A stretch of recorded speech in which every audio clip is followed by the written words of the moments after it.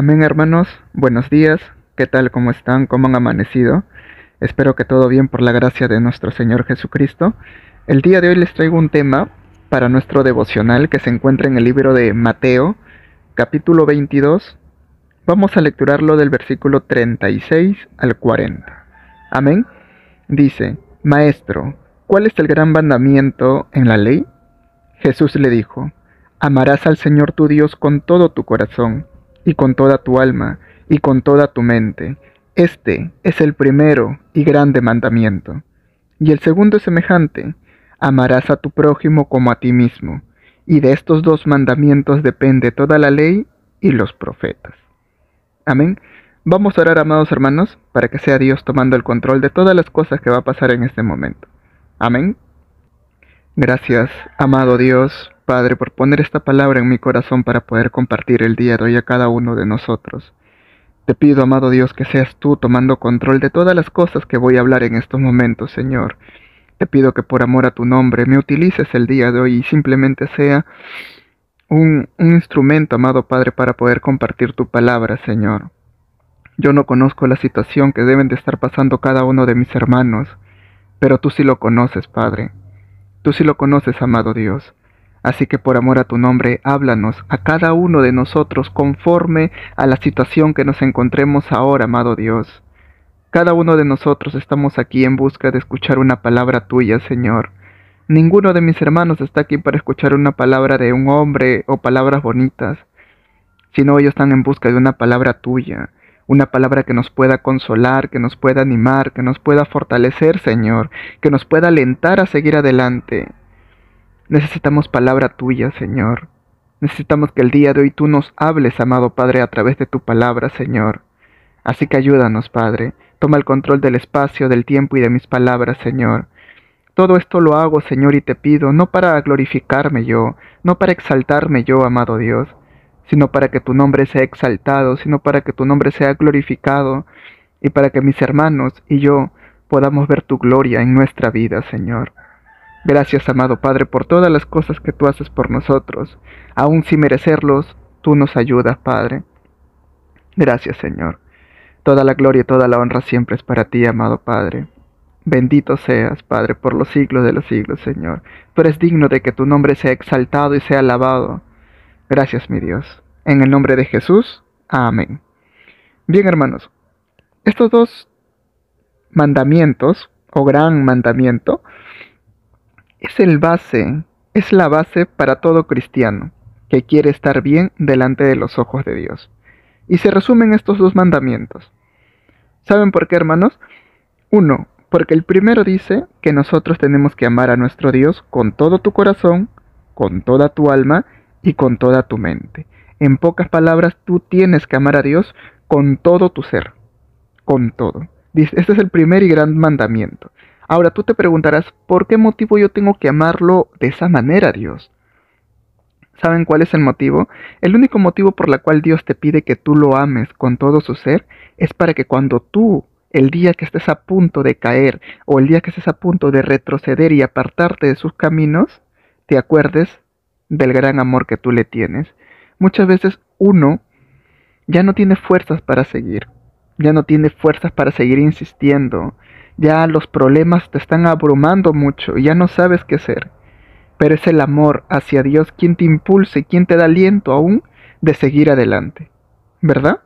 Así como pasó Jesús. Jesús antes de morir en la cruz, ¿cuál era su único aliento? ¿Cuál era su gasolina en su motor, por así decirlo?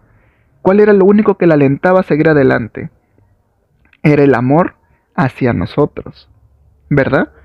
De igual manera, muchas veces esta carne, este cuerpo pecaminoso quiere muchas cosas y uno muchas veces es débil, porque la palabra de Dios dice que el corazón está dispuesto a la verdad, o sea, dispuesto a cumplir su palabra, pero el, el cuerpo es débil, pero la carne es débil, dice su palabra. Entonces, por eso Dios te pide que tú lo ames con todo tu ser, con todo tu ser, porque el día que no tengas fuerzas, tiene que haber el amor. El amor te va a ayudar a decir, no, no quiero pecar. El amor te va a ayudar a decir, no, no me voy a juntar con estas personas. Me voy a alejar de esta gente, porque esta gente me incita a pecar. ¿Me dejo entender? Ese, el amor hacia Dios nos ayuda a librarnos de muchas cosas que muchas veces nosotros, como seres humanos, somos débil y pecamos. Por eso es el primero y grande mandamiento. Ahora el segundo dice que es semejante al primero. Entonces dice, amarás a tu prójimo como a ti mismo. De estos dos mandamientos depende toda la ley y los profetas. Miren, el segundo mandamiento es similar al primero. El primero nos dice que tenemos que amar a Dios con nuestro corazón, con nuestra alma y con nuestra mente. A Dios. Y dice en el segundo, amarás a tu prójimo como a ti mismo. Tú, amado hermano, si tú te amas, tú quieres lo mejor para ti, ¿verdad? Tú quieres tener una buena casa, una buena vestimenta, una buena educación, una buena alimentación, tener comodidad. Cada vez que estás pasando algún problema, buscas la manera de salir de ese problema porque tú quieres lo mejor y, y tú sientes que no mereces estar pasando por ese problema o necesidad. ¿Verdad? Es así, cuando uno se ama quiere lo mejor. Ahora, si Dios te manda a ti como su hijo, o sea, es un mandamiento de tu padre, tú como su hijo te manda, te dice, este, Pepito, Pepita, tú eres mi hija, así que te ordeno y te mando que ames a tu prójimo como a ti mismo. Y la palabra prójimo no quiere decir que simplemente ames a tus hermanos en Cristo, o sea, a tus hermanos de la iglesia, no. Ni tampoco prójimo significa de que tú vas a amar solamente a tu familia, que son padres y hermanos. No. Tu prójimo son todas las personas del mundo. Tu prójimo son todas las personas del mundo. Tus hermanos en Cristo son todas las personas que han aceptado a Jesús como tu Salvador.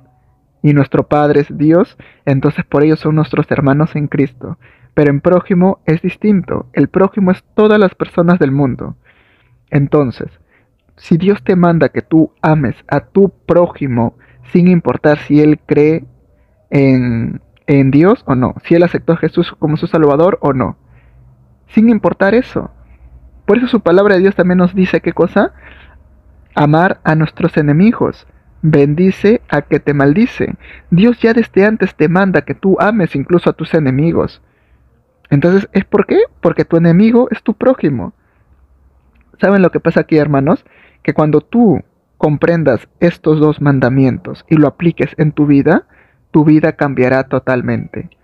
Porque si tú amas a tu prójimo como a ti mismo, cada vez que tu prójimo te haga algún daño, o te falle, o te traicione, o critique de ti, o hable mal de ti, no lo sé, tú no vas a poder guardar rencor o resentimiento en tu corazón. Tú no vas a pensar como la gente del mundo que piensa, ah, como él me golpeó, yo también lo voy a golpear. Ah, como él me criticó, yo también lo voy a criticar. Ah, como él me trató mal, yo también lo voy a tratar mal. De eso no trata la vida. La palabra de Dios te dice que no pagues mal por mal, sino vence el mal haciendo el bien.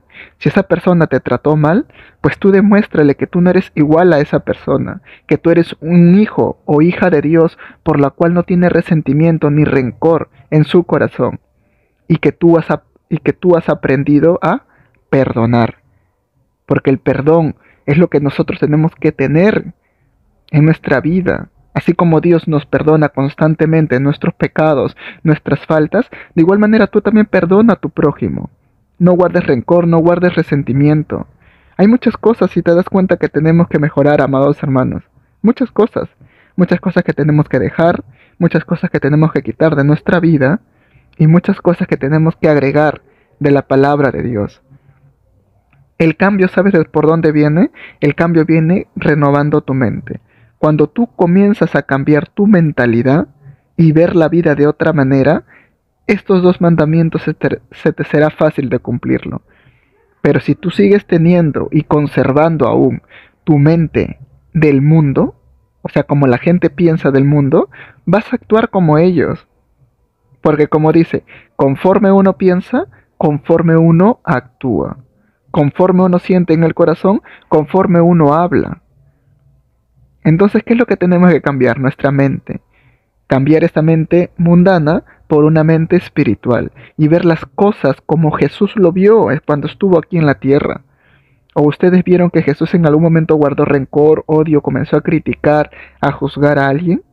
No, aún Jesús se sentó a comer con las personas que lo iban a traicionar. con las personas que lo iba a negar y que lo iba a vender. Aún Jesús se sentó con ellos. A ver ustedes, yo le hago la pregunta. ¿Ustedes se sentarían a cenar o a comer con la persona que les hizo daño? ¿Se sentarían a compartir algún alimento de lo más normal con la persona que lo lastimó? Tal vez muchos de ustedes no, pero Jesús nos dio claro ejemplo de que sí.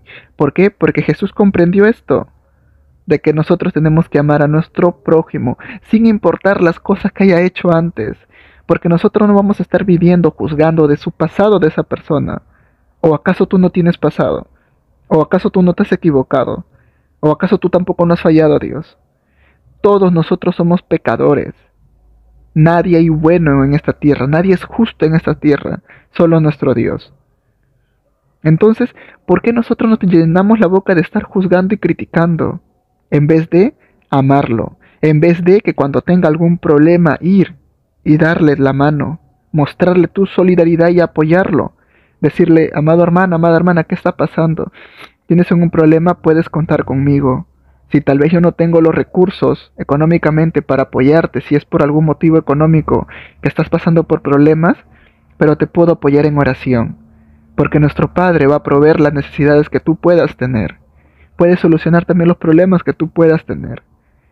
Amado hermano, muchas veces uno no tiene económicamente para apoyar, pero puede doblar rodillas, interceder en oración por esa persona. Hay muchas formas de ayudar, amado hermano, a las personas. Nuestro Dios es posible, de solucionar los problemas, de suplir necesidades, de dar sanidad al enfermo. Y de todas las cosas que tú puedas estar pasando para Dios, todo lo es posible. Solamente tú tienes que tener en tu corazón la disposición de querer ayudar.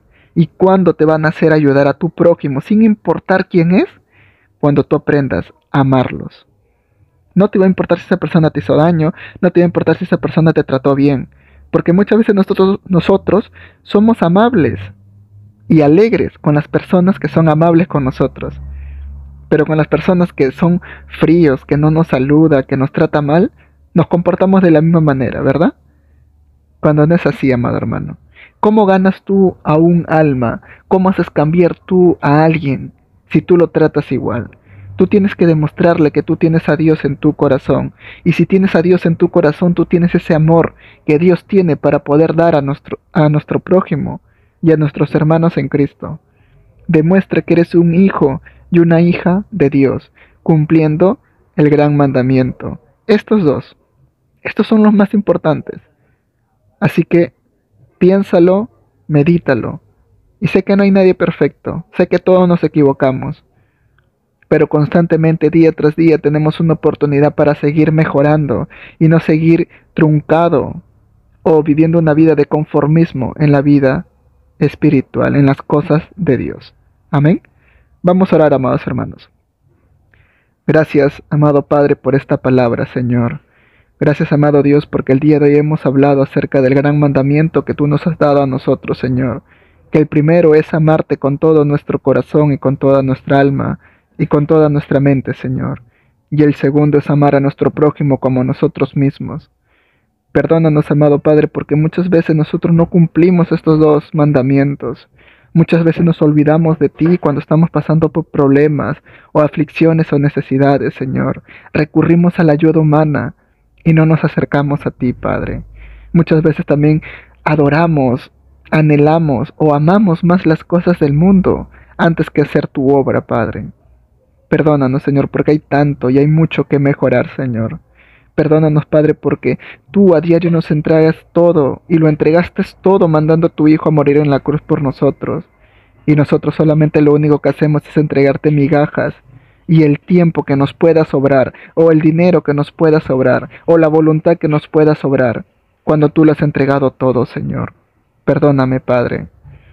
Y también, Señor, perdóname, Señor, si es que en algún momento yo he tenido cólera, ira hacia mi prójimo, si he guardado rencor, resentimiento, perdóname, Padre, porque tú me mandas a que yo lo ame, sin importar el daño que me haya hecho, sin importar quién sea. Tu palabra me dice que tengo que amarlo, que tengo que amar incluso aún a mis enemigos, que tengo que bendecir a los que me maldicen. Yo tengo que identificarme y diferenciarme de los demás, porque yo soy y nosotros somos hijos tuyos, amado Dios. Ayúdanos, Padre, en este mundo tan pecaminoso gobernado por Satanás. Muchas veces se nos torna un poco difícil, o oh difícil, Señor, cumplir tu voluntad. Pero tu palabra dice que todo lo podemos con Cristo que nos fortalece. Así que necesitamos de tu ayuda, Jesús. Ayúdanos, Padre. Ayúdanos, Señor. Queremos estar bien y agradable ante ti, Señor. Queremos encontrarnos dignos para cuando tú vengas y te lleves a tu iglesia, Señor. Queremos estar ahí, Padre, contigo. Gracias, Señor, por tanto amor, por tanta fidelidad, por tanta misericordia y también gracias por tanta paciencia, Señor. Gracias, mi Dios. Gracias, Jesús. Gracias, Espíritu Santo. Toda la gloria y toda la honra siempre será para ti, amado Padre. Gracias, Señor. En el nombre de Jesús. Amén.